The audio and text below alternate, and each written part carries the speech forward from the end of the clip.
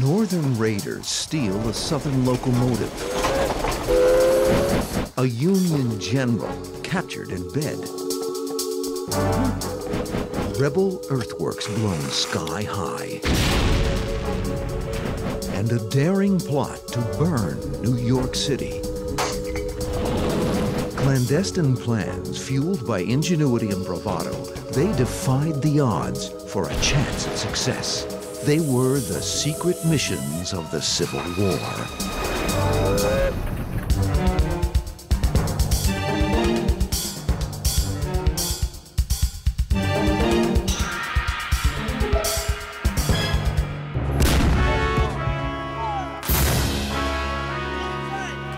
In the annals of the Civil War, the great battles dominate. Names like Gettysburg, Chancellorsville, or Antietam are famous by sheer weight of blood and horror. Where armies of men by the tens of thousands opposed each other, these were the vast, open, visible spectacles of the conflict.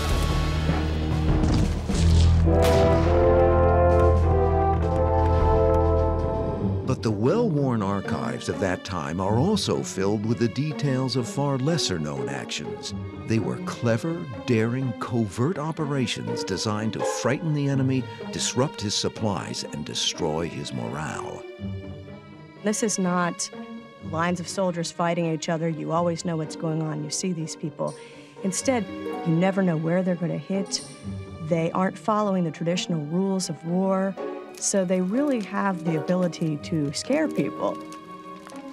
Each side in the war had a so-called secret service which initiated some missions, but neither had anything like today's CIA to coordinate covert actions.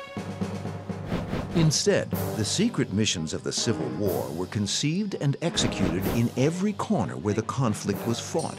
Occasionally directed from high levels, they were more likely the work of local commanders, spies in the field, even ordinary soldiers.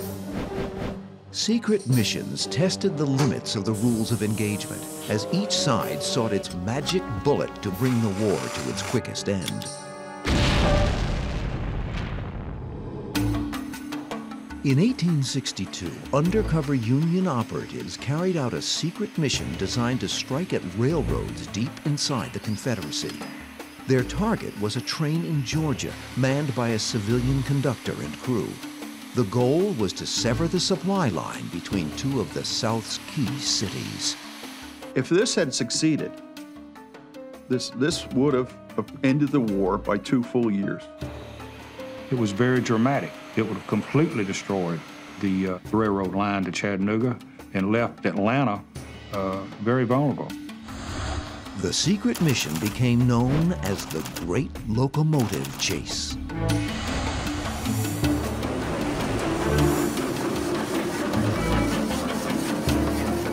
In April 1862, the Confederacy's main line of defense extended from Richmond, Virginia, and ran parallel to a railroad line that was critical to the South's survival.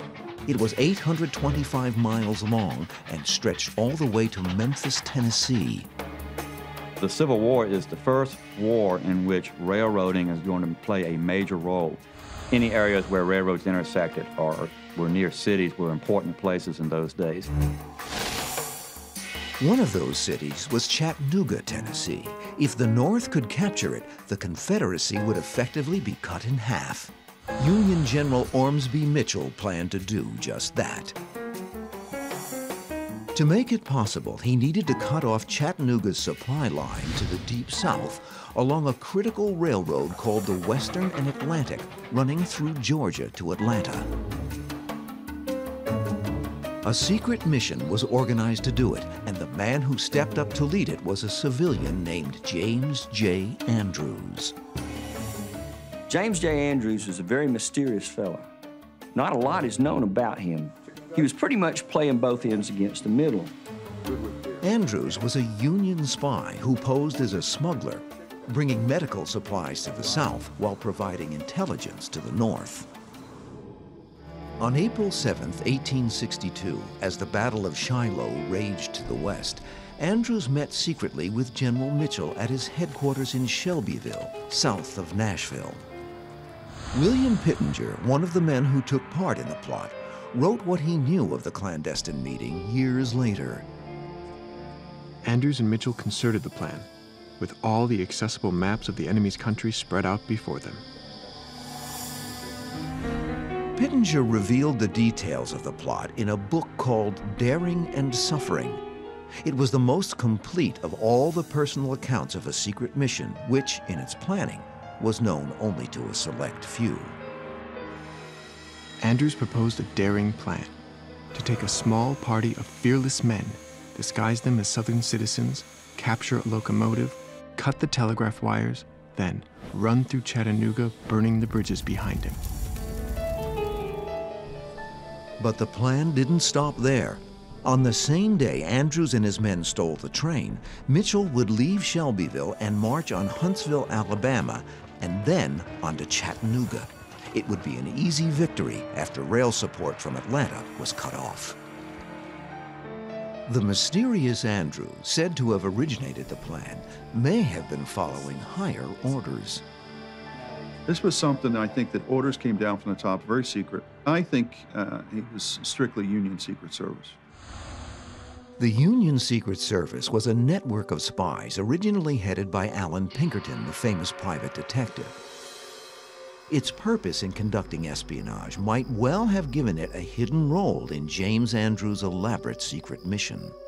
Especially when you got 22 to 24 Union soldiers going along with this man. He didn't just do this off the cuff. This wasn't something that just let's get together over a bottle and, and, and, and shoot the breeze and plan this crazy mission. The role of the Secret Service is not documented, but the rest of the story is. Two dozen Union soldiers in Mitchell's division volunteered. Three of them were recruited because they were trained locomotive engineers. None of them even knew what the mission would be. They did tell them that it was a very secret mission and that it was a very dangerous mission, and that if they were caught, they would probably be hung. Just hours after his April 7th meeting with General Mitchell, Andrews gathered his men at an isolated spot along the railroad tracks outside Shelbyville. Andrews briefed them on the audacious plan to actually steal a locomotive. As he outlined the damage to be done to the enemy, fear gave way to excitement.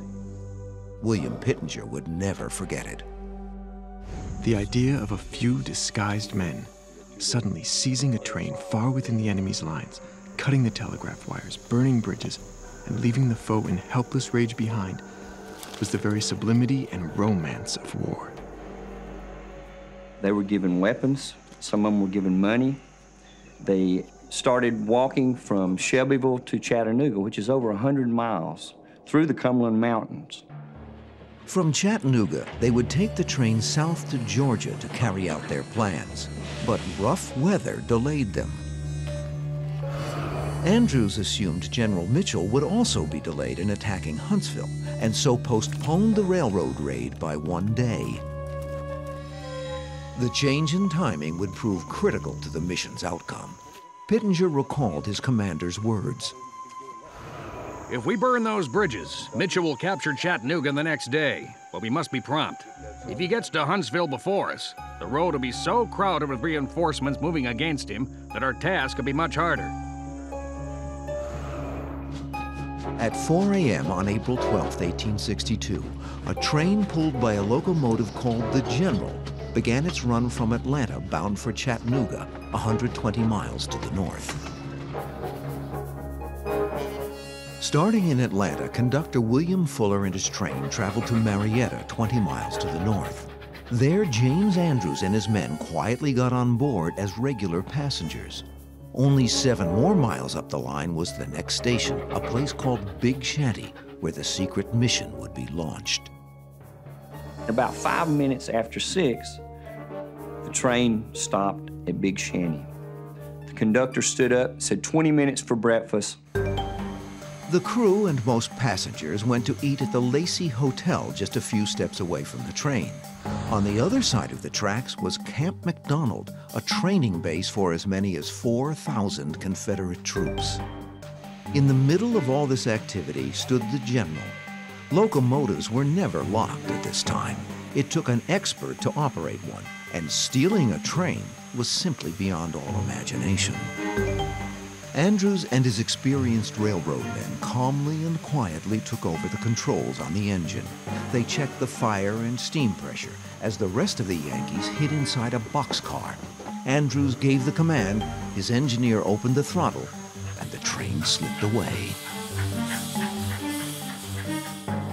On one side, the conductor is going into the hotel to have breakfast. On the other side, 4,000 Confederate troops you know, maybe a sentry walking back alongside the tracks.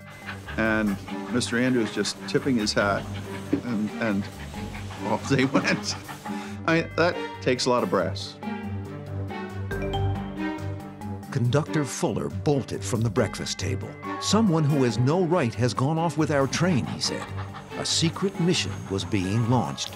The great locomotive chase had begun.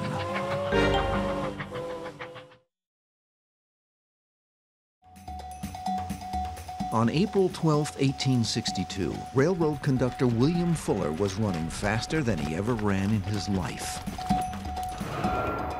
At the station in Big Shanty, Georgia, a team of Yankees disguised as civilians quietly stole Fuller's train as he sat down to breakfast. And you got to remember that William Fuller is the boss. He's the conductor, and the conductor was responsible for that locomotive. For him to be sitting there eating biscuits and gravy and somebody steal his locomotive was a very bad thing for him. He was in a real pickle. Fuller, together with railroad supervisor Anthony Murphy, ran down the line in a scene that even to the stunned spectators was comic. These determined men, without a moment's delay, put out after the flying train amidst shouts of laughter by the crowd at seeing men start after a train on foot. The humor is not lost to history. The chase inspired Buster Keaton's famous 1927 film, The General. Even if most others can laugh at the thought of this scene today, Conductor Fuller's family knows all too well that their ancestor at the time could not. I don't know that uh, uh, my great grandfather would have seen any humor in it at that time uh, at all. In fact, the situation was more serious than even Fuller imagined. He thought the train had been stolen by Confederate deserters, never thinking that Yankees on a secret mission were behind it. They intended to use the train to burn bridges and block the line. As soon as the train was beyond Big Shanty, where they hijacked it, Andrews' men cut the telegraph wire. Minutes later, they came to the next stop, a place called Moon Station.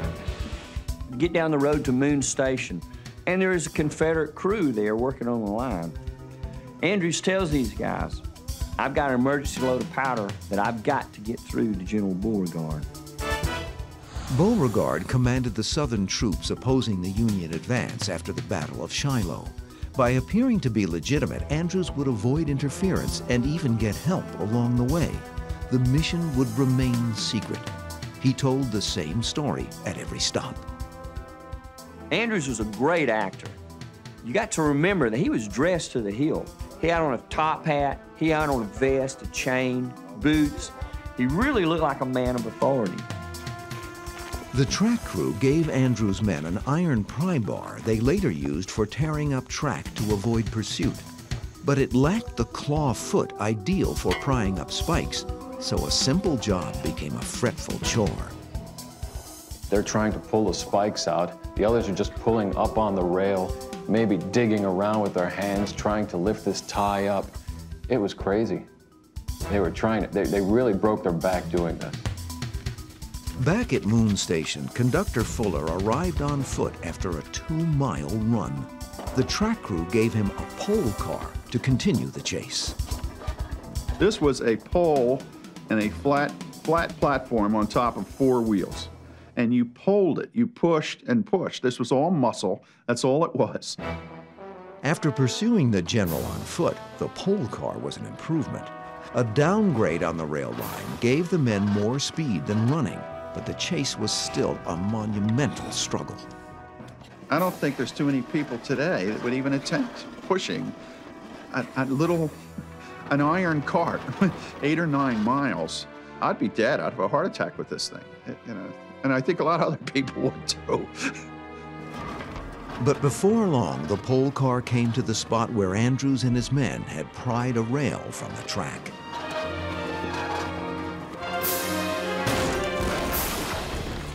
Tumbles them off in the ditch. Get up muddy and mad. Now they really realize that this is not deserters from the Confederate camp. This has got to be Yankees. The Yankees, unaware Fuller was after them, pulled the general into Kingston Station, 30 miles from the point where they stole the train. Here, traffic on the single line railroad began to jeopardize the mission. You have to remember that there's only one track running from Atlanta to Chattanooga. It's just one track. So if you got a southbound and a northbound coming, somebody's got to get off. Getting off meant pulling a switch to steer a train onto a siding at one of the stations along the line. On just such a siding, the general, with Andrews and his men aboard, waited. And waited. At least three unscheduled trains moving south occupied the main line while the general sat still. The problem was with Andrews was that he, he delayed the mission one day. Andrews didn't know that Union General Ormsby Mitchell attacked Huntsville, Alabama one day earlier, as they had originally planned. Word of the assault quickly reached Chattanooga. That put a scare in the Confederates, and the Confederates loaded up everything they could and sent it south. That blocked the line the next day when Andrews did make the raid. The line was full of locomotives coming south. This was something Andrews had not foreseen. The unscheduled traffic from Chattanooga kept the general stalled at Kingston. William Pittenger, one of the men hiding inside a boxcar, remembered the uncertainty. We could hear low murmurs outside.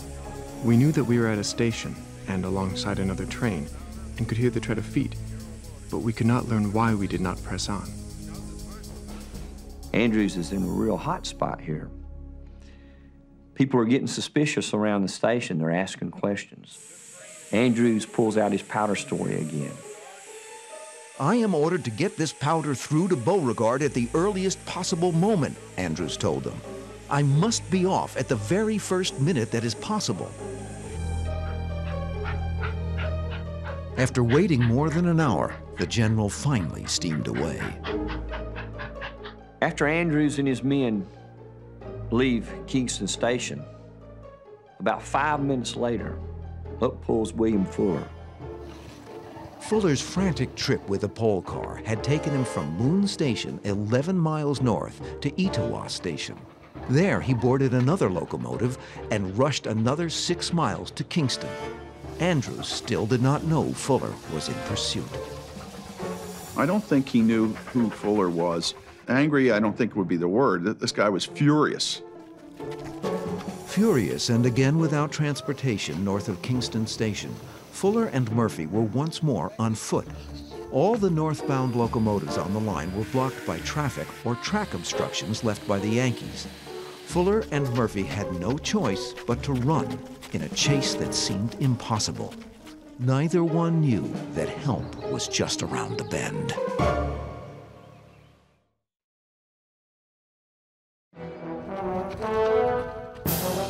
It must have seemed a dark and harrowing deja vu for William Fuller and Anthony Murphy. More than once, the two Georgia Railroad men were forced to run on foot after a gang of Yankees who had stolen their train and may have been miles ahead of them to the north.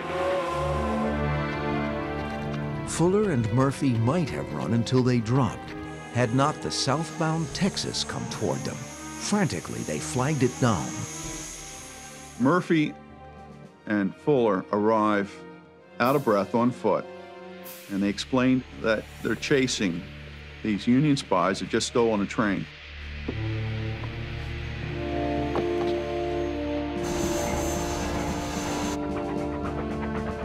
Minutes later, the Texas was in on the chase at high speed. Its only handicap, its direction of travel. Now you got to remember, this locomotive's in reverse. A Locomotive would go just as fast in reverse as it will forward, but it's a lot more dangerous. Hearing the whistle from the Texas behind them, Andrews now knew he was being pursued. The General poured on steam, reaching speeds up to 60 miles per hour. Going 60 miles an hour was totally unheard of at that time. It was like being in a rocket ship. They were being thrown around the cab, thrown around the boxcar. Alf Wilson, one of Andrews' men, remembered the frightening ordeal. The powerful iron monster rocked and reeled like a drunken man, while we tumbled from side to side like grains of popcorn in a hot frying pan. We took little thought of the matter then. Death in a railroad smash-up would have been preferred by us to capture.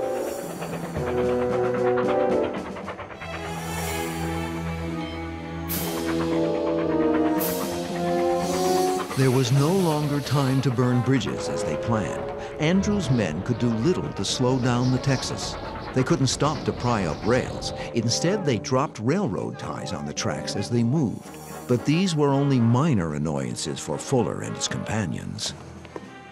What began as a mission of controlled sabotage by the Union Raiders quickly became a mission of survival. With the Texas close behind, the Yankees did not have time to stop and load up enough wood and water to maintain speed. The shortage would be critical. That truly was the downfall of the raid once the Confederates started hounding these guys. And eventually the wood and water ran out. Andrews said, every man for himself, and they hit the woods. The great locomotive chase became a frantic manhunt two miles north of Ringgold, Georgia, 87 miles from its starting point. The Yankees dispersed through the woods. Andrews had told General Mitchell he would burn the bridges on the Western and Atlantic Railroad, making it impossible to use. As it was, there wasn't time to burn a single bridge. Damaged track and severed telegraph wires were easy to repair. The raid was a failure. Andrews and his men didn't get far after their escape through the woods. Confederate soldiers fanned out after them, and all were caught within 12 days. The raiders were convicted of being spies. On June 8, 1862, James Andrews went to the scaffold, appearing penitent, as a newspaper reported. Seven of his men were executed together 10 days later one of them telling the assembled crowd he was no spy, but simply a soldier in the performance of duty. Eight other raiders escaped, and the remainder were released in a prisoner exchange in March of 1863. Secretary of War Edwin Stanton called them to Washington. Congress had just authorized the Medal of Honor, and Andrews' men became the very first recipients. Andrews himself was a civilian and was not eligible. A series of watercolors about the chase was painted by Chicago artist Wilbur Kurtz. He was so fascinated by the story, he became personally involved. To research his work, Kurtz interviewed the train's conductor, William Fuller, in 1903. Later, the artist married Fuller's daughter, Annie Laurie, so that today's Wilbur Kurtz III is the grandson of the artist and great-grandson of the conductor. It's been an exciting story all of my life, especially coming from my grandfather, who, while did not have firsthand accounts of it, he had almost coming directly from Captain Fuller. Buster Keaton's comedy was one of two major movies inspired by the story. The Great Locomotive Chase from Walt Disney Studios in 1956 was a serious version.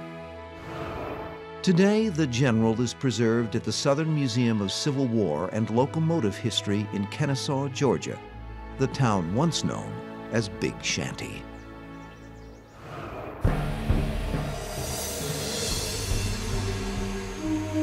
The Yankees who tried to capture it may have failed, but like most secret missions, the raid had lasting effects. I think the South was in an uproar. It pulled a lot of, of troops away from important places where they should have been to guard bridges and railroad points throughout the South because they were afraid it was going to happen again. The Confederacy instituted a system of passports to guard against spies, and strangers would from then on be treated with much more suspicion across the South. In the year following the Great Locomotive Chase, the Union became frustrated by its Army's lack of decisive victories. General George B. McClellan's campaign to take Richmond was a failure. President Lincoln replaced him with General Ambrose Burnside, who fared even worse. The South, if not headed to victory itself, was conducting a vigorous defense. In the winter of 1863, the fighting slowed down, and a Confederate named Mosby saw an opportunity. He devised a secret mission aimed at Union troops occupying Northern Virginia. Mosby was a master of secret missions. He, uh, he gained his nickname, the Gray Ghost, because the Union never knew where he was going to be coming from or where he disappeared to after the mission.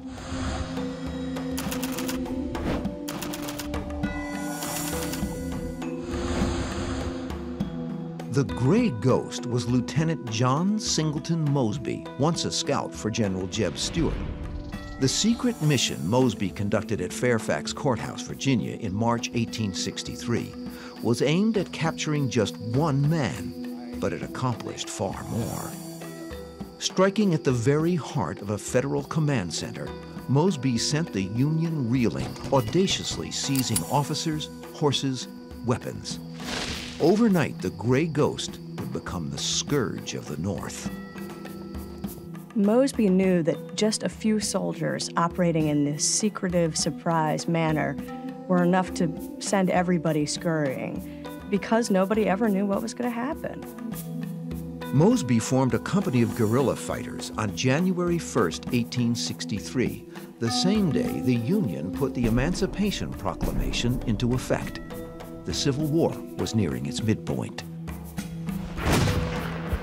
In the eastern theater of war, the action was concentrated in the mid-Atlantic region, where Robert E. Lee's Army of Northern Virginia had dealt the Union humiliating defeats.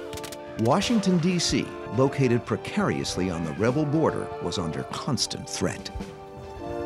The federal capital was protected by a defensive ring of Union troops extending deep into the surrounding territory of Northern Virginia.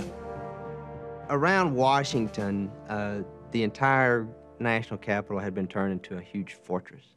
There were large concentrations of troops right outside of Washington and just to the south of it. These troops became targets for John Mosby, a Virginian of slight build but great confidence his ego was bigger than his uh, physical being. And so he became a, a very vibrant individual uh, with a lot of charisma. Mosby's Rangers, as they were known, were cavalrymen armed with little more than revolvers, silently capturing men, weapons, and horses in small hit and run actions. This was a, a new, dangerous way of fighting that really distracted the Union forces. In his own memoirs, he described the effects of his sneak attacks against Union pickets doing guard duty on the Washington perimeter.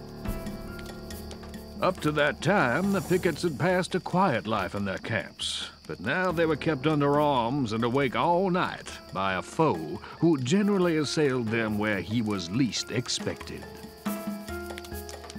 He would come in, basically kick someone in a knee, and run away and retreat. And in the sensibilities of the day, that seemed very underhanded. It seemed especially underhanded to Colonel Percy Wyndham, a British soldier of fortune fighting for the Union. For Wyndham, honorable warfare was fought out in the open. His troops no doubt had to endure frequent tirades as he criticized Mosby at every opportunity. Wyndham even sent Mosby a note with a direct insult. the loss of sleep is irritating to anybody. He sent me a message calling me a horse thief. Calling someone a horse thief in those days was tantamount to calling your mother a whore. But Mosby was a man of honor himself, and to retaliate against Wyndham, he conceived a secret mission. he planned a nighttime raid on Fairfax Courthouse, a tiny village no more than a few blocks square. Mosby knew that Colonel Wyndham's headquarters was in Fairfax Courthouse, and the primary objective of the raid was to capture Wyndham, uh, this invader from Europe, no less, and give him his comeuppance. On March 8, 1863, Mosby collected his small group of men. He said they'd be going on a raid that night, but he told them very little else. To all but a few, the mission remained secret. He kept it secret because he wanted to make sure that if someone was captured, they didn't have the information that they could blurt out, which would then put the rest of the gang in jeopardy. In the black darkness of a moonless night, Mosby and his men slowly made their way through the Virginia woods. Fairfax was 25 miles away, deep behind Union lines. A Union defector, Sergeant James Ames, helped Mosby pick his way through gaps in the Federal sentry positions. But progress through the woods was slow. In the darkness, the Rangers had trouble staying together. They were lucky if they could see past the end of their horse's nose. The term that comes to mind is pitch black, in the sense that not only can you simply not see, but it is so dark that you feel like it is getting on you. It is sticky dark. But the profound dark worked for Mosby's Rangers when they finally reached their destination at 2 o'clock in the morning. We entered the village from the direction of the railroad station. There were a few sentinels about the town, but it was so dark they could not distinguish us from their own people. In the cold of early March, in the deepest part of the night, virtually no one stirred. The community was little more than a handful of homes and buildings, with the county courthouse in the center. The town was Mosby's to take. Outside wasn't a place people wanted to be. They wanted to be in a nice warm bed with fires roaring in their fireplaces and not worry about anything outside until the next day. Mosby ordered the Union defector, Sergeant James Ames, to look for the raid's prime target, Colonel Percy Wyndham. Ames was sent with a party to the house in which he knew Wyndham had his quarters. But fortune was in Wyndham's favor that time, for that evening he had gone to Washington by train. His nemesis had eluded him completely, but Mosby's disappointment would quickly disappear. Just one block away, fast asleep in bed, an even better prisoner was waiting a Union brigadier general.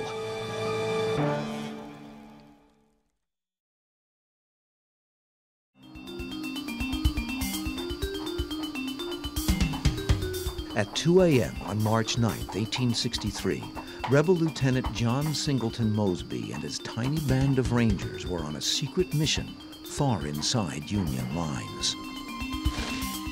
In a letter to his superior, General Jeb Stuart, he made his report. I determined to make the attempt to reach Fairfax Courthouse, where the general headquarters of that portion of the Army were established. The few guards stationed around the town, unsuspecting of danger, were easily captured.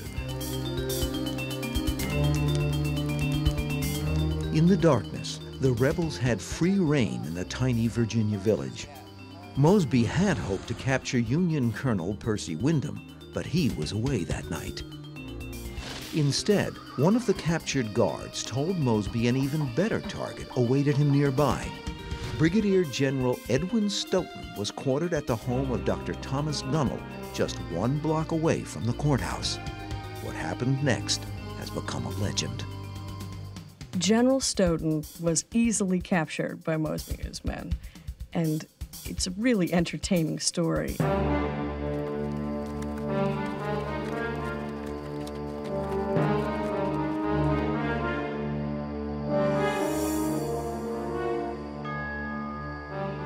Mosby came in and very boldly banged on the front door, saying, I have reports for the general's eyes only. Lieutenant Prentice, who was Stoughton's aide, opened an upper window and looked down. And when he found out that it was a message for the general, he staggered down the stairs in his shirt and underdrawers, opened the front door, probably yawning, and for his work, got a pistol stuck in his ribs I took hold of his nightshirt, whispered my name in his ear, and told him to take me to General Stoughton.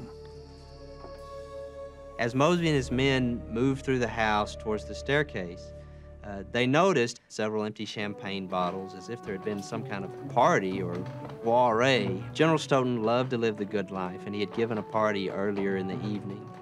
Once they got upstairs, sure enough, there was General Stoughton, sound asleep in his bed. Mosby just saw him as a sitting duck.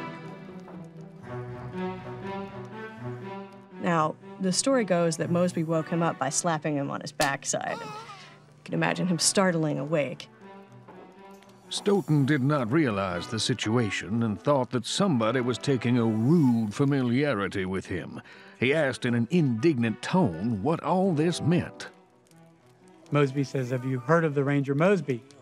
The sleepy general says, Yes, have you caught him? Mosby says, I am Mosby, and I have caught you. Get dressed and come with me. For Mosby to come into the Union uh, camp like this and try and take the general literally right out of his bed was a very audacious act. He took out a coal from the fire and actually wrote his name on the wall so that there would be no question as to who came in and took the general when they looked at it afterwards. Stoughton was forced to dress. The Rangers had to hurry so they could get home while it remained dark. Mosby told the general the town was surrounded by Jeb Stuart's cavalry, which in reality was not even close.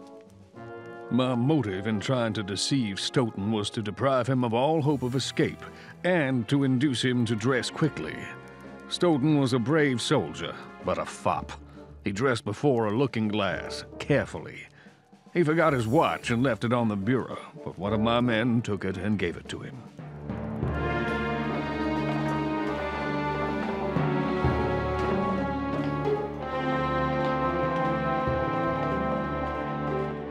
By 3.30 in the morning, Mosby's Rangers with their prisoners and horses began to leave town. On their way, they passed a house where Union Colonel Robert Johnstone was staying.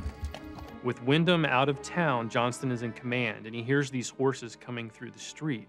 So he opens up a window and challenges them to find out who they are and why they're out at that time of night.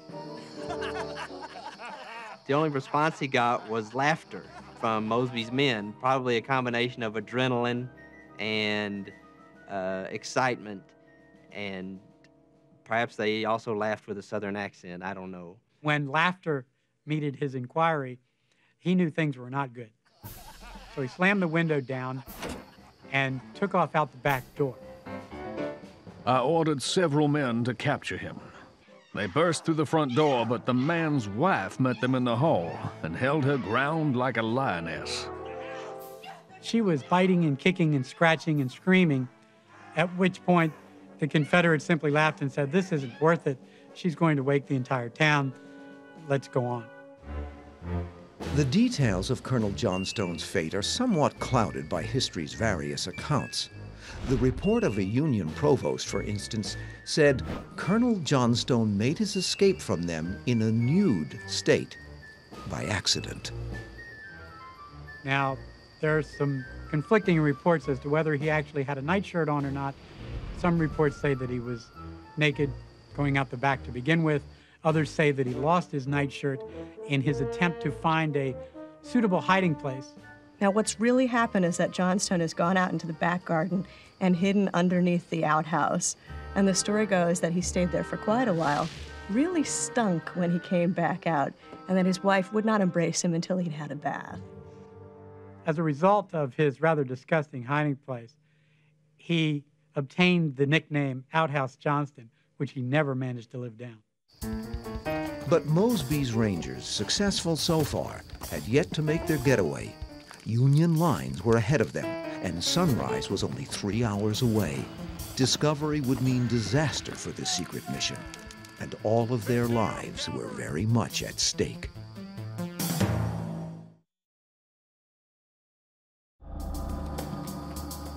On March 9, 1863, Confederate guerrilla fighter John Singleton Mosby and his men silently rode out of Fairfax Courthouse, Virginia, with Union Brigadier General Edwin Stoughton as prisoner. They hoped they would not be noticed by the Union forces surrounding them. They took the South Road out of town, hoping any Yankee pursuit would follow that direction. But then they made a sharp turn west, where their route through the woods would land them safely in friendly Virginia territory. Mosby's report to General Jeb Stuart summed it all up neatly.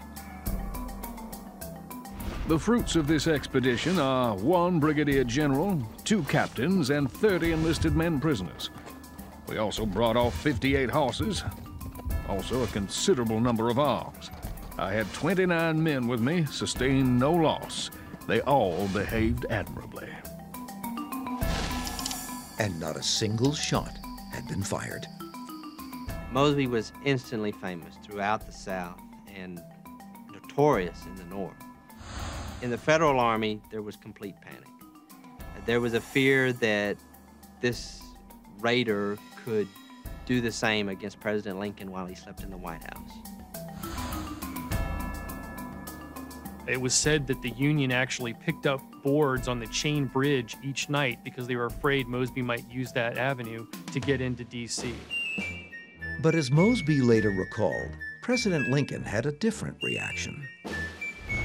There is an anecdote told of Mr. Lincoln that when it was reported to him that Stoughton had been captured, he remarked with his characteristic humor that he did not mind so much the loss of a general, for he could make another in five minutes, but he hated to lose the horses.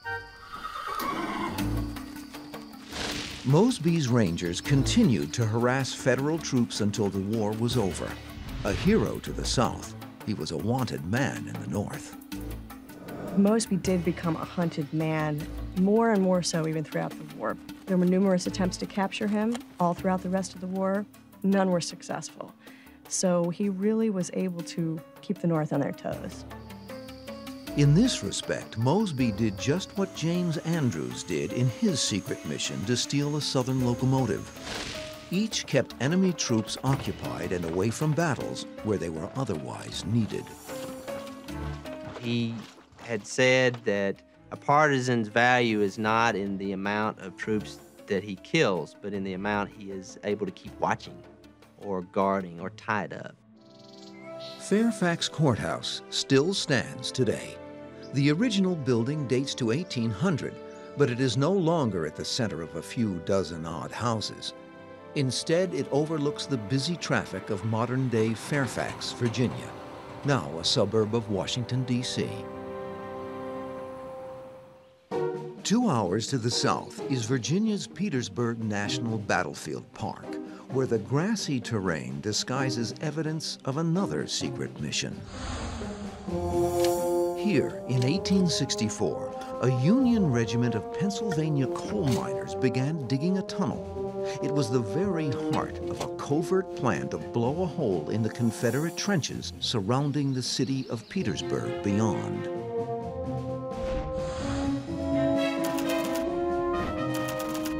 History knows it as the Battle of the Crater. It was a secret mission that surprised and horrified everyone who witnessed it. None of the participants had seen anything of the scale and drama and sheer shock value of the explosion of the crater. By the spring of 1864, General Ulysses S. Grant was in overall command of the Union Army.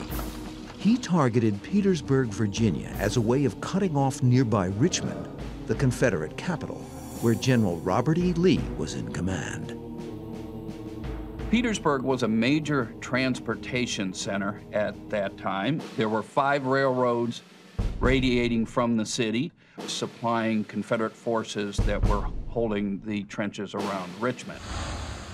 And so Grant ordered attacks on the Confederate trenches surrounding Petersburg.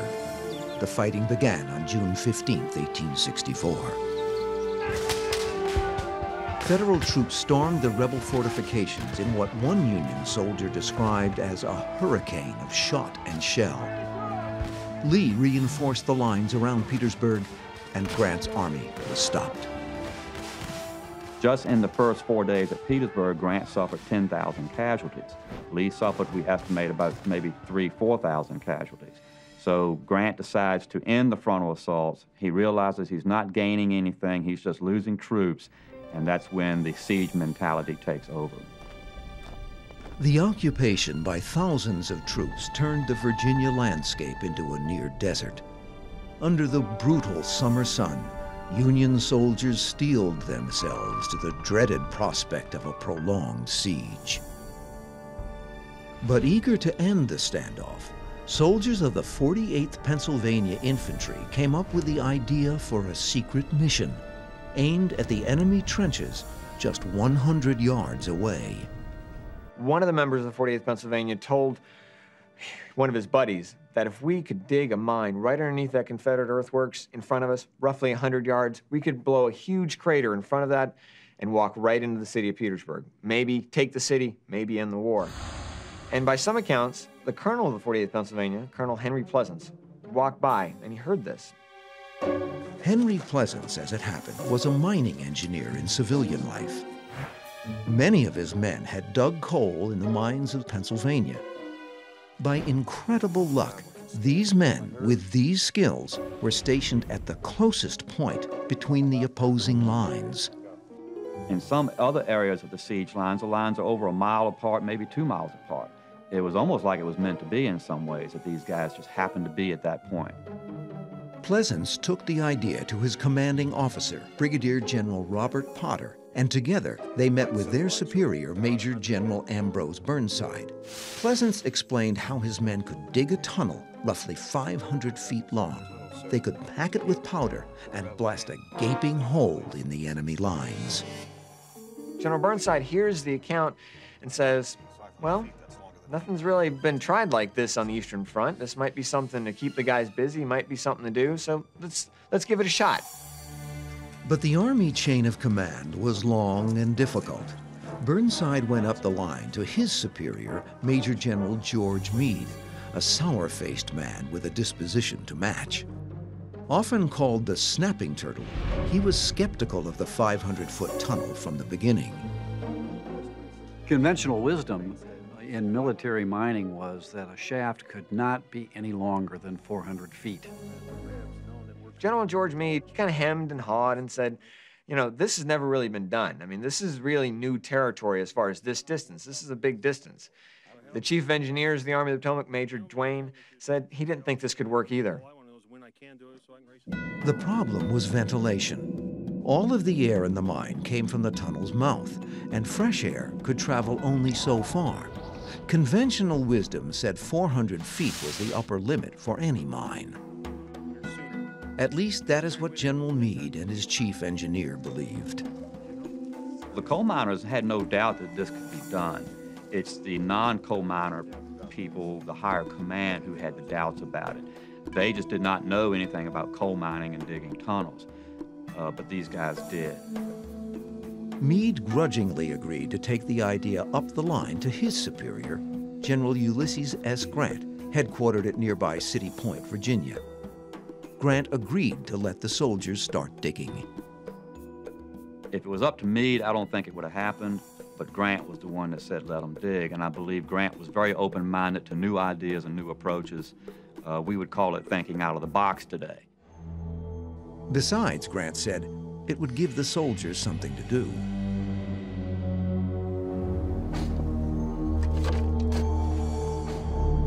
Colonel Henry Pleasants' own words recalled the secret mission and all its frustrations. It was commenced at 12 p.m. the 25th of June, 1864, without tools, lumber, or any of the materials requisite for such work. The Army failed to supply proper tools, so the miners took their entrenchment picks, straightened the ends, and shortened the handles. This way, they could swing them effectively in a cramped tunnel no more than four and a half feet high. To remove the dirt without wheelbarrows, the miners put handles on ordinary wooden hardtack boxes. Hardtack box was about yay big by yay big and maybe a foot deep. Was designed to hold about a thousand hardtack crackers, and the men would put the dirt in this to carry it out of the tunnel. The problem with it was that you have to imagine how uncomfortable that was to be a soldier in there hours at a time, digging this earth, shoveling it into a box, handing it to someone behind you, going again, keeping going back and forth. It was really a very uncomfortable process. Colonel Pleasants appointed a tough sergeant to supervise the digging. Another veteran of the Pennsylvania coal mines, his name was Harry Reese. Sergeant Reese was so devoted to his duties of constructing this tunnel that he not only set up his sleeping quarters in front of the mouth of the tunnel, but he also took all of his meals there. No one went in and out of the tunnel without first passing by Sergeant Reese. As the work progressed, the Union command virtually ignored the operation, still believing it would never work.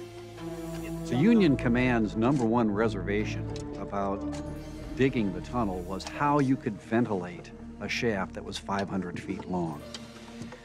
And you could lock me up in a room for a week, and I would have never thought of a very simple principle that hot air rises. Colonel Pleasants used that principle in an ingenious ventilation system.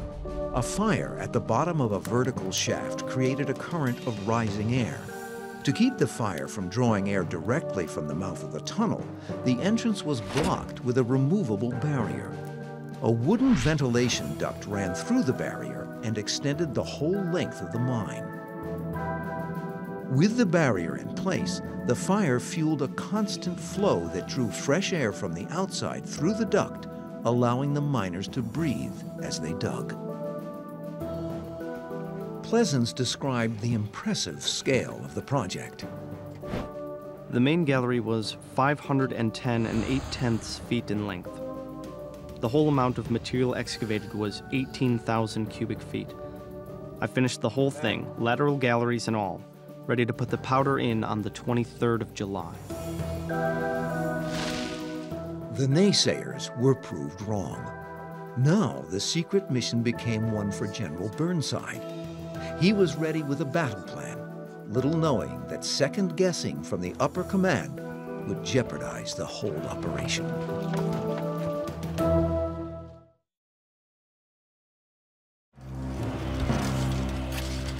By the summer of 1864, Union troops were planning a secret mission they hoped would bring the Civil War to an end.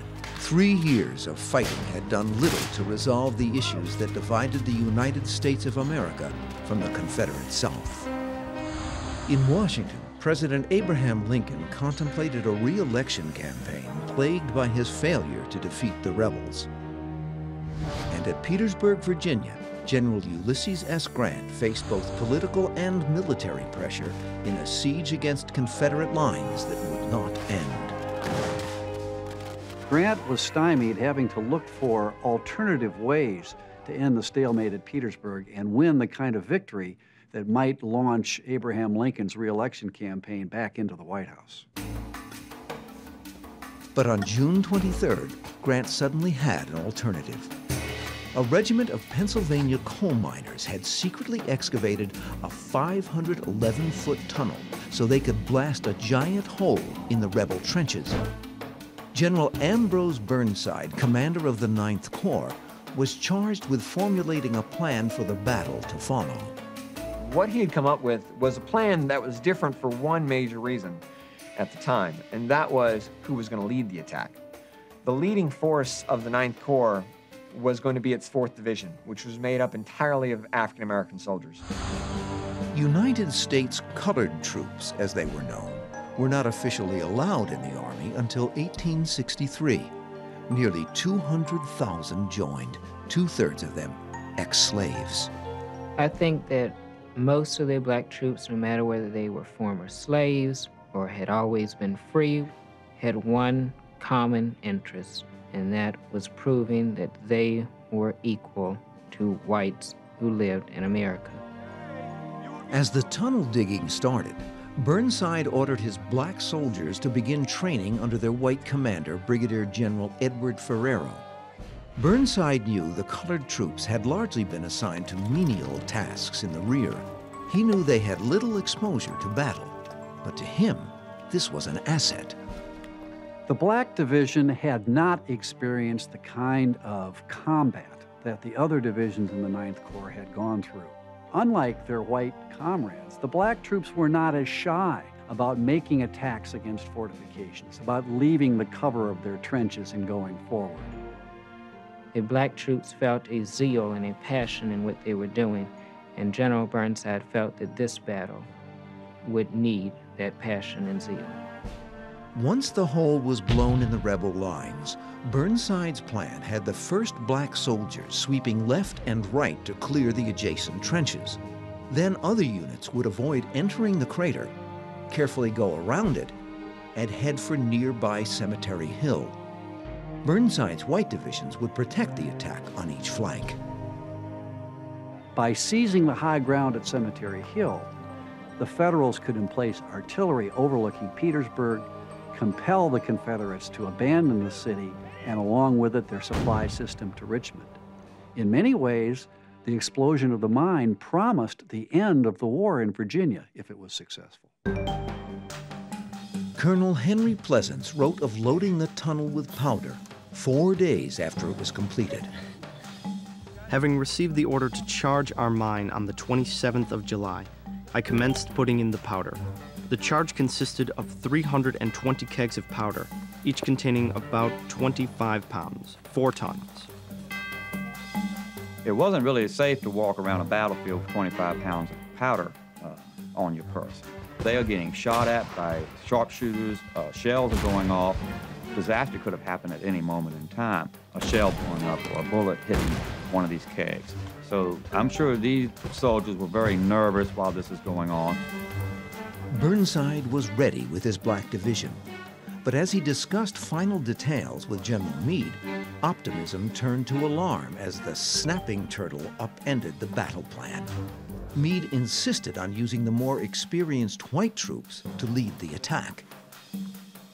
General Burnside insisted, this has to work. My white divisions are decimated from the attacks. This is the largest division. This is the division that has to make this assault. So he demands they go to General Grant. The next day, Burnside briefed commanders of his white divisions on their role in the battle, confident that General Grant would support him. Burnside had suffered a major defeat earlier in the war at Fredericksburg, Virginia. Facing the ridicule of his colleagues, he hoped his plan at Petersburg would redeem him. As Burnside met with his subordinates, Meade himself appeared at the tent. He brought with him Grant's verdict, and the news was not good. The military goals now had a sudden political component. The blacks would not lead the attack. Grant's viewpoint was should the attack wind up as a disaster, that he would be accused of sacrificing the black troops because he didn't care about them at a time in which the United States war aims included the end of slavery. The devastated Burnside was at a loss. None of the men before him had trained their divisions for the complex maneuvers the battle required.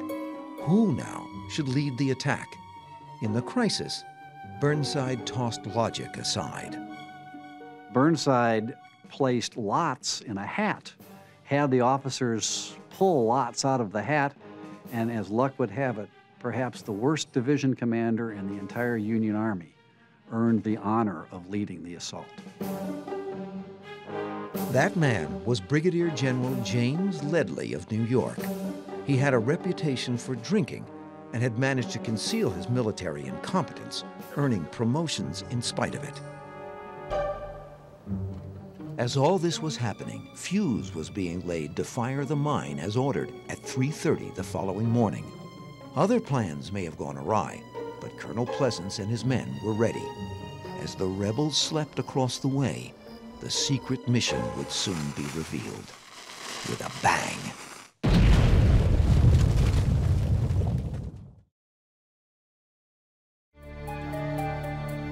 At 3 a.m. on July 30th, 1864, Union Major General Ambrose Burnside looked at his watch.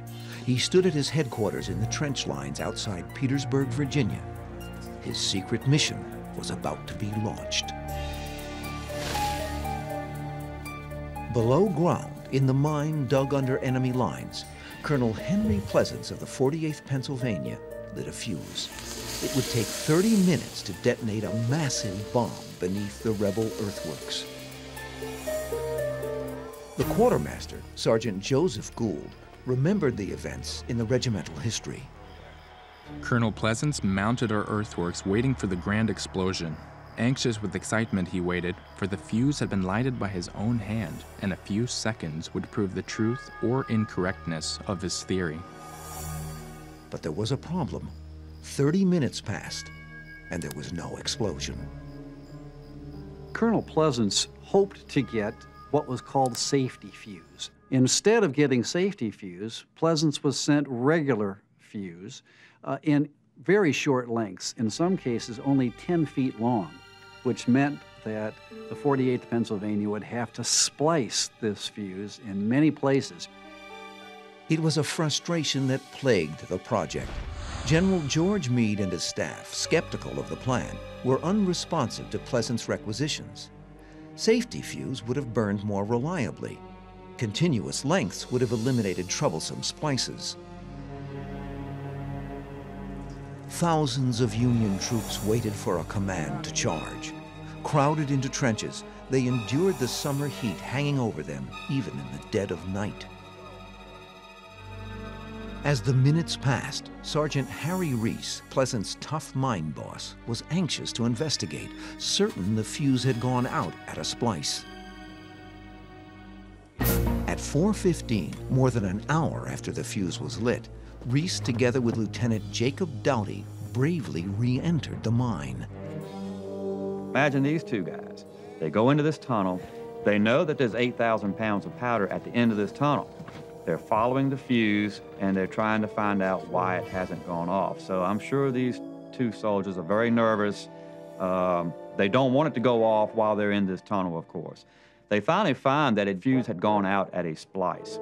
They lit the splice, and I'm sure they lost no time at all running back down that tunnel to get out of that thing before it blew up. Everything, with all its unknowns, was now in place. General Burnside's drastically altered battle plan. The White divisions hastily prepared. The Black Division now at the rear instead of the lead. And across the way, the Confederates asleep. Reese and Douty came scrambling out of the tunnel, their margin of safety cut razor thin. Only five minutes later, at 4.44 a.m., the mine at Petersburg exploded.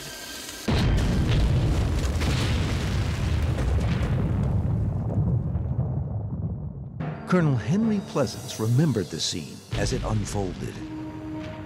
I stood on top of our breastworks and witnessed the effect of the explosion on the enemy. It so completely paralyzed them that the breach was practically four or 500 yards in breadth. The explosion that would occur on the morning of July 30th was unprecedented in North American history. When we hear an explosion today, it's boom and it's over with, just a matter of a second or two. This explosion went on and on. Gunpowder back in those days burnt slow. I imagine it took at least 15 to 20 seconds just for the explosion to take place. It was the equivalent of the, of the atomic bomb going off for the men who witnessed it. The first phase of the secret mission was complete. Catching the South off guard, the Union had blown a giant hole in the enemy lines. The crater from the blast was 170 feet wide and 30 feet deep. The rebels sustained 278 immediate casualties. There's a story of one of the men being blown up, and as he's going up, he's seeing uh, the company cook going down, who yells back at him, I'll have breakfast ready for you when you reach the bottom. On the Union side, falling debris disoriented the men assigned to lead the charge against the rebels. These were troops of Brigadier General James Ledlie, who is said to have seen them off before retiring to a bunker with a cup of liquor. Ledlie apparently never briefed his men on the plan to go around the crater. Instead, they went straight for it. When they reached the giant hole, the spectacle stopped them cold. What they find is pieces of people, pieces of horses, Confederates that are buried alive, and they're just shocked by what they see. their immediate reaction was to save these guys' lives, which is very strange. They're out there, actually out there, they're supposed to be killing these people. But because of what they saw initially, they actually tried to help these Confederates out. It takes them over 40 minutes to get organized and get to figure out that we need to start moving forward. Burnside's three white divisions poured into the crater, creating a tangled logjam of confusion. And by this time, the Confederates, stunned by the blast, began to recover and were fighting back. The Union troops were exposed and vulnerable. Those who tried to advance beyond the crater's edge were likely to be cut down by rebels firing from cover in the remnants of their trenches. Finally, after three hours of fighting, Burnside sent his Black Division into the battle. They were originally intended to lead the attack. Instead, they assumed the follow-up role once intended for one of the White Divisions. Now they had to wade through the confused battlefield to reach the positions they had trained for. When the black troops eventually went in, they went uh, and swung around to the north of the crater.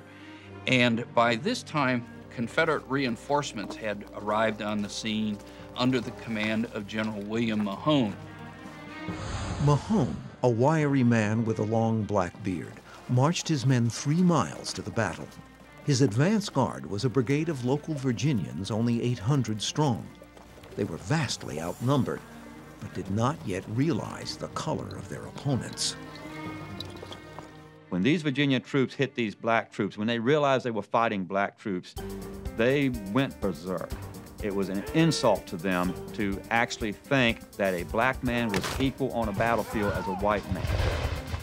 These two forces with two separate identities, totally different ideas, came together on one field of battle and now found themselves in fear and enraged by one another.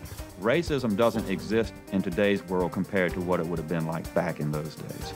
The worst story that I've come across in this battle, this one black soldier is getting beat by a ramrod over the head by a Confederate soldier. He's, the Confederate soldier is holding this guy while the other Confederate soldier is loading his weapon so he can kill this man. This man is begging for his life. He tells him, I'll be your slave for the rest of my life. I'll do whatever you want. The guy loads, he shoots, he hits the guy's belt buckle. He has to reload again. They finally do kill this man. And this is just one of the horrible stories that take place at the Battle of the Crater. The Confederate policy called for shooting all black soldiers. They were not to be taken prisoner. So the Union's colored division suffered more casualties than any other in the battle. The secret mission that held so much promise was on the verge of failure. The Union soldiers fighting to save it were soon to be devastated by a lethal weapon.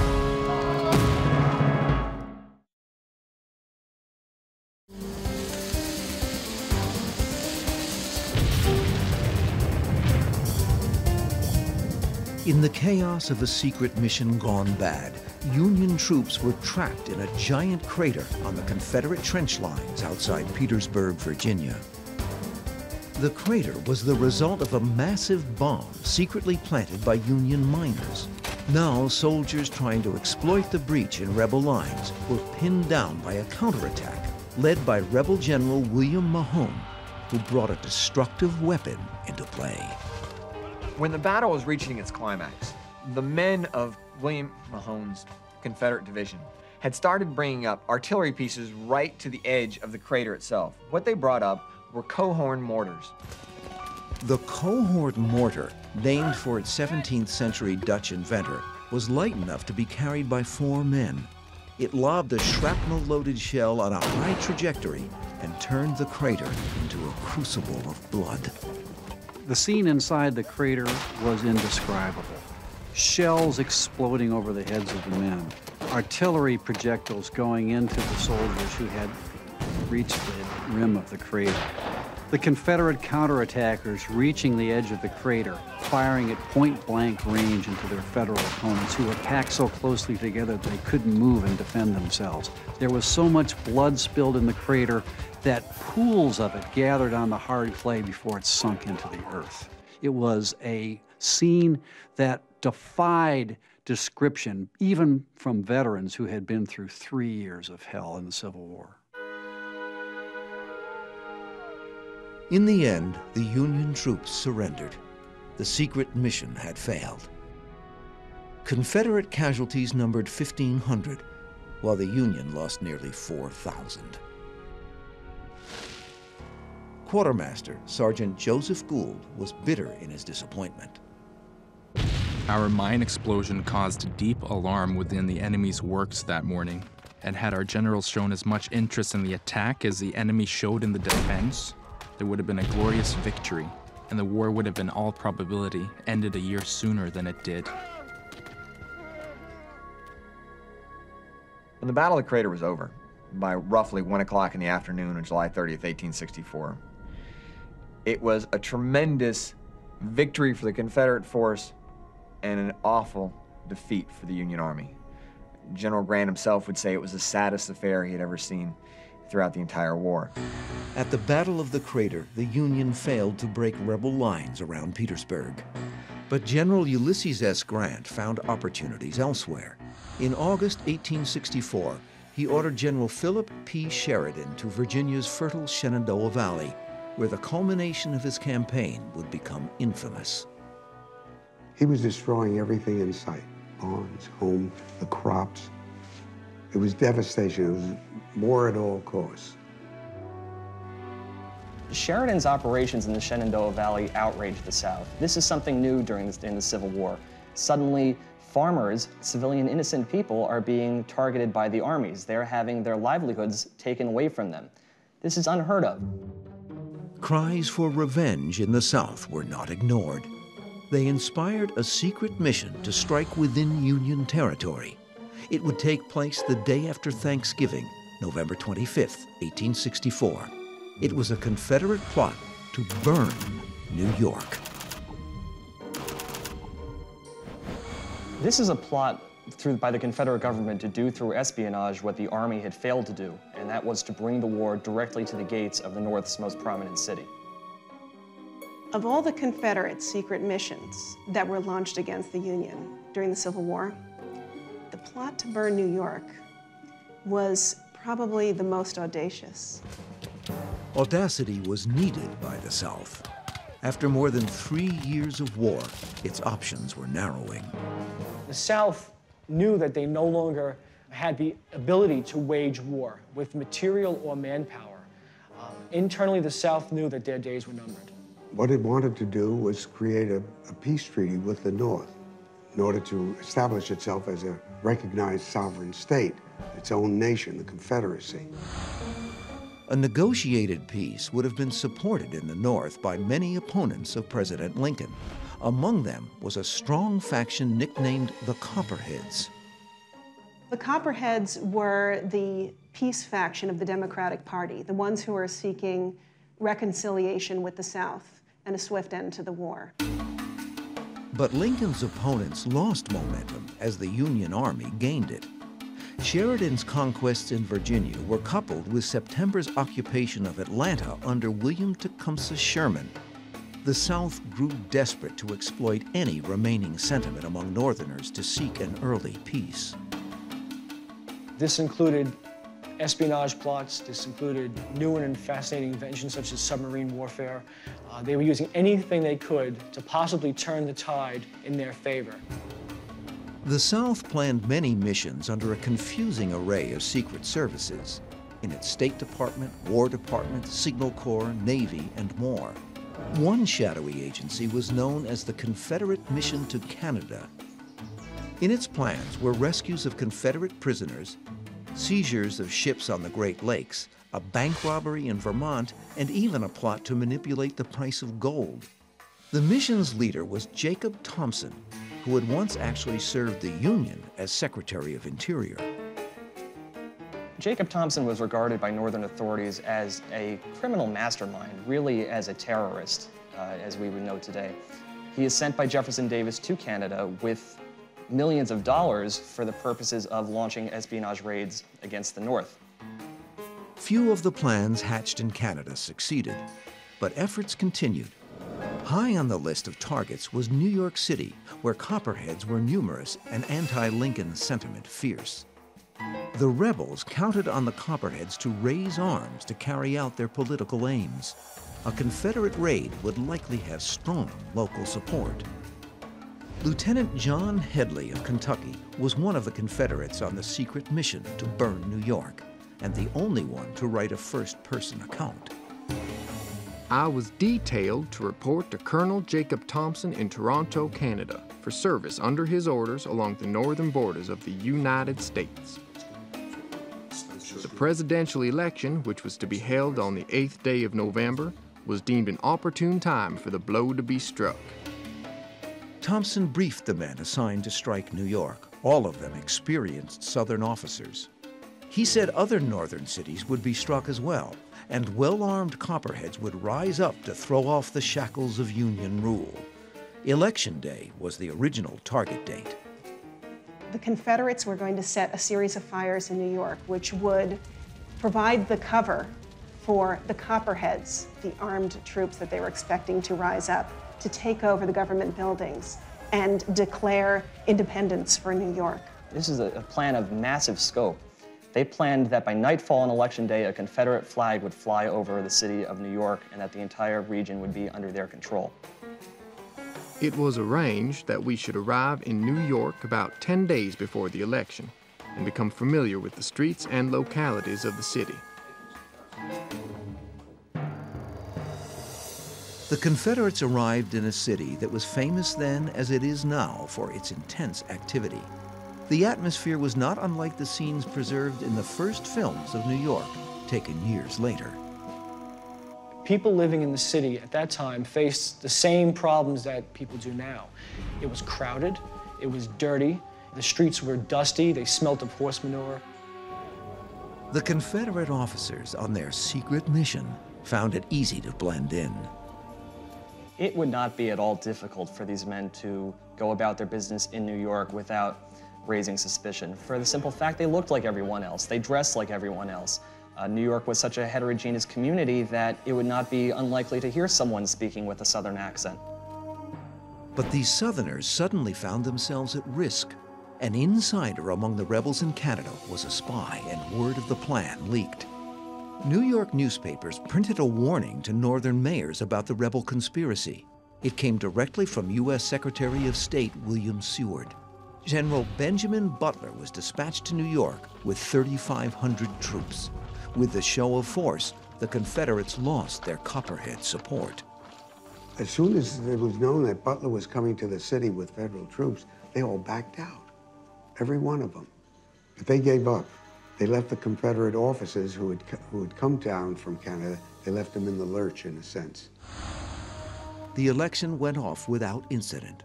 Lincoln lost New York City to his opponent, General George McClellan, but the president won the rest of the country overwhelmingly. The Copperheads had backed out of the plot, but the Confederate officers from Canada were still in New York, and they decided to burn the city on their own. We had told Colonel Thompson he could expect to hear from us in New York.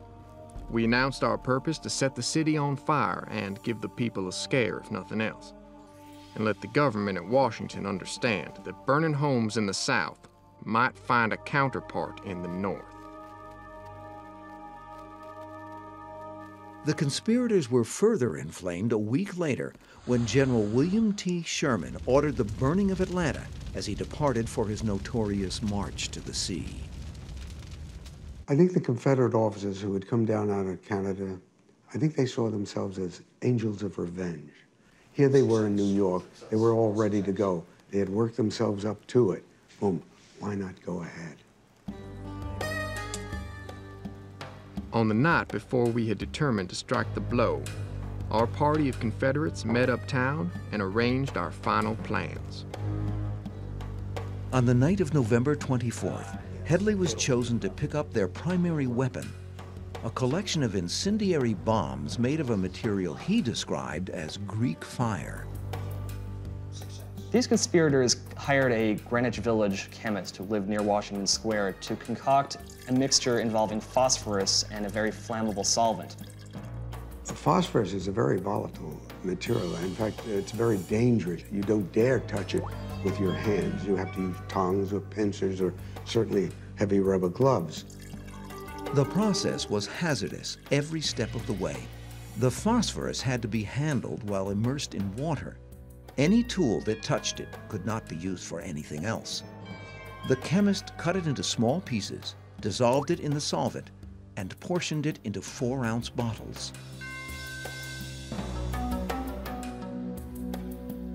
As John Headley recalled, the mysterious chemist produced the satchel of bottles with no questions asked. He handed it over to me without saying a word. I turned and departed with the same silence. None of the party knew anything about Greek fire, except that the moment it was exposed to the air, it would blaze and burn everything it touched. We found it to be a liquid resembling water. We were now ready to create a sensation in New York. In their plan, 15 hotels were targeted, with most of them located in clusters along a three mile stretch of Broadway, New York's magnificent Main Street. From the hotels, the fire would spread quickly, with the entire heart of the city erupting in flames. It's no accident that they targeted the hotels in New York because the hotels were not just stopping places for travelers or tourists coming through, but they were the places where the political and financial business of the city was done. The plan was now set. In just 24 hours, the Confederates would spring into action, launching their secret mission to burn down the city of New York.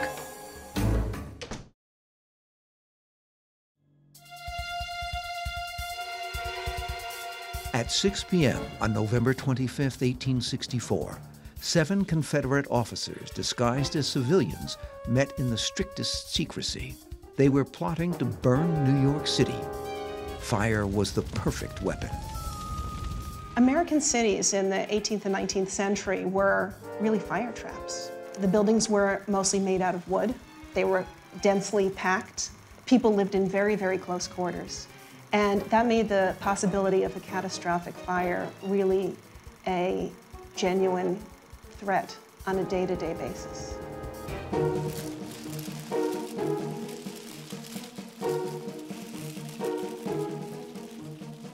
The Confederates were armed with bottles of a volatile phosphorus mixture designed to ignite when exposed to air. John Headley wrote of their preparations for action. The bottles, having been wrapped in paper, were put in our coat pockets. Each man took 10 bottles. It was agreed that our operation should begin promptly at 8 o'clock p.m.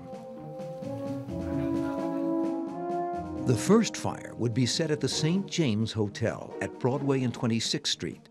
There, as in all 15 of the hotels, the Confederates would follow a basic plan. They would go into their rooms, lock the doors, and take the bed sheets, um, whatever other flammable material might be in that room, make a large pile in the center, pour the phosphorus on it, and then lock the door and leave behind them. Once they had poured the phosphorus over the bedding, they closed the windows so smoke could not be seen by anyone before fire filled the room. Shortly before 9 p.m., a bell began to ring atop one of New York's fire towers. It was the first of many bells that night, an alarming symphony of a city under attack. New York City had built fire towers around the city, and you could hear those big bells ringing throughout the city, and it was actually a familiar sound. You expected to hear the fire tower bells ringing once, twice a day. But it would have been highly, highly unusual, probably unprecedented, to have over a dozen fire alarms going off in a single day. Panic struck at the heart of New York as crowds fled at every site where fires were set. One of the Confederates, Captain Robert Cobb Kennedy, wasn't finished yet. He went to Barnum's Museum after setting his hotel fires. In writing of the event, Lieutenant Headley described Barnum's as a target of opportunity for Kennedy. Coming down a stairway, the idea occurred to him that there would be fun to start a scare. He broke a bottle, he said, on the edge of a step. like he would crack an egg, and he got out to witness the result. But the Barnum's fire fizzled, and it soon became clear to the Confederates that whatever excitement they had caused, New York was not consumed with flames. In depending on their phosphorus bombs, they had made a serious error. The problem with phosphorus is, is that it requires a large amount of oxygen to feed the fire. By locking the room and closing the windows, they cut off the oxygen and thus prevented the fire from burning the way they intended to do so. They didn't know how to handle their own material. The fires, creating more smoke than flame, were discovered and extinguished primarily by staff at the hotels. The plot had been foiled, but New Yorkers were enraged. New Yorkers were appalled by the fact that here they were a city that actually voted against Abraham Lincoln, and now the Confederates, uh, spies came in to set fire to a city. New York City was not very happy with the South. Revenge. That, that was the keynote uh, uh, the next day. Everybody wanted, who are these people? Let's get, let's hang them. Retaining their anonymity, the Confederate officers quietly traveled by rail back to Canada. Robert Cobb Kennedy, the man who tried to burn Barnum's museum, was the only one of the Confederates captured. Kennedy had received a wound at Shiloh, wound in his thigh, and it made him walk with a very pronounced limp. And it was this limp that was used to uh, identify him. Kennedy was put on trial, defended by civilian lawyer Edwin Stoughton, the same man whose Army career was ruined when he was captured by Mosby and his Rangers at Fairfax Courthouse, Virginia in 1863. Stoughton and Kennedy had been classmates at West Point, but given the outrage in New York, there was little Stoughton could do for his friend. The attempt to set fire to the city of New York was one of the greatest atrocities of the age. General John Dix, Union commander in New York, issued the military court's judgment. It was not a mere attempt to destroy the city, but to set fire to crowded hotels in order to secure the greatest possible destruction of human life. The finding? Guilty. Robert C. Kennedy will be hanged by the neck until he is dead. In this, a secret mission near the end of America's most costly conflict, the concepts of warfare versus terrorism were blurred. The Confederate plot to burn New York City was nothing more than a terrorist attack. It was an attempt by a government that had their back against the wall. And when any government has their back against the wall, they go at all measures to save themselves. From the Confederate standpoint, what they did was not terrorism. They were simply doing what the Northern troops were doing in the Shenandoah Valley or what Sherman was doing in Atlanta. They were following through on war is hell, war is total. At Fort Lafayette in New York's harbor, Robert Cobb Kennedy went to the gallows on March 25, 1865. He was drunk, unruly, and scared. Just as Kennedy was about to be hung, as the noose was around his neck, he started to sing an Irish ditty that thieves and, and murderers in Ireland sang before they were hung. Trust to luck, trust to luck, stare fate in the face, for your heart will be easy if it's in the right place. Robert Cobb Kennedy was the last Confederate soldier executed before the end of the war. New York City remained unharmed, but it was clear that it had dodged a dangerous bullet. The day after the fire, the Brooklyn Daily Eagle published an editorial that very accurately predicted that had the plot succeeded, that half of what they called the stateliest city in the world would have been a charred and blackened ruin. None of the buildings struck in 1864 remain standing in New York today. But the city remains a unique symbol of the American nation. And so to the enemies of the United States, New York will always be a target. On April 9, 1865, two weeks after Kennedy's execution, Robert E. Lee surrendered to Ulysses S. Grant at Appomattox, effectively ending the Civil War. The time for vast battles had come to an end, as had the need for secret missions. Places like Fairfax Courthouse, or Kennesaw, Georgia, once known as Big Shanty, would never have the same public recognition as Fredericksburg or Shiloh. New York and Petersburg would seldom be remembered for their roles in the undercover war. But the secret missions of the Civil War were executed with a passion that exceeded perhaps even the greatest battles of the conflict. And for that reason, their scale will never diminish their place in history.